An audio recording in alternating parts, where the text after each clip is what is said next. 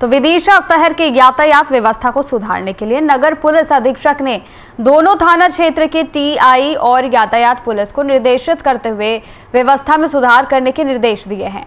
तो दुकानों के बाहर खड़े वाहनों पर चालानी कार्रवाई करने के साथ साथ दुकानदारों पर भी चालानी कार्रवाई करने को कहा गया है। साथ ही तेज रफ्तार वाहन चलाने वाले कम उम्र के बच्चों के खिलाफ चलने और कार्रवाई उनके माता पिता पर भी कार्रवाई करने के संबंध में विचार किया जा रहा है।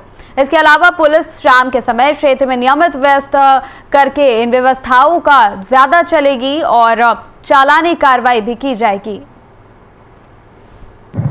यातायात वाली बाइट हो गई हो गई दरअसल में वरिष्ठ अधिकारियों के माध्यम से जानकारी प्रकाश में आई थी कि शहर के यातायात बड़ा अव्यवस्थित हो गया है। हम लोगों ने मीटिंग की थी। बस ऑपरेटर्स को भी बुलवाया था उनकी मीटिंग करी थी। शहर के ऑटो रिक्शे वालों को बुलवाया था। प्रयास ये है कि यातायात व्यवस्था सुचारू रूप से संचालित की जाता है कुछ ऐसी जानकारी मिली है कुछ ऐसे दुकानदार हैं जिनके सामने मोटरसाइकिल खड़ी रहती हैं।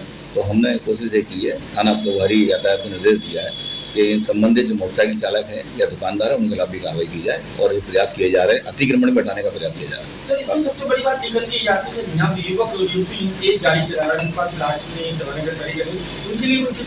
है। नहीं पहले तो उनको हम समझाने का प्रयास करते हैं। फिर उनके पास डॉक्यूमेंट चेक करते हैं, जो डॉक्यूमेंट नहीं है, उसकी हम चालान बनाते हैं। उनको चूँकि सी काटने का नियम है संबंध शुल्क वसूल करते हैं और प्रयास ये कर रहे हैं कि ये कागजों को रखें और व्यवस्थित तरीके से वाहन चलाएँ। हम लोग जो जितने भी इंस्टीट्यूशन हैं, संस्थाएँ हैं उनमें भी भेज रहे हैं जिससे लोगों को ज्ञान प्राप्त हो या कागज़ लेके चलना सर खास तौर से इलेक्ट्रॉनिक्स की गाड़ी आई उसमें सर इस